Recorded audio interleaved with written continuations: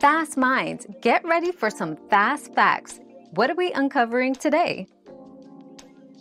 Walking 25,000 steps a day is generally safe for people who are used to high levels of physical activity and have no underlying health conditions.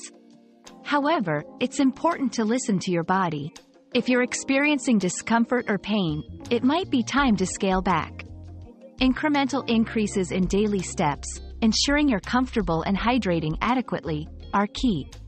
Remember, balance is vital, and rest days are just as important as active ones.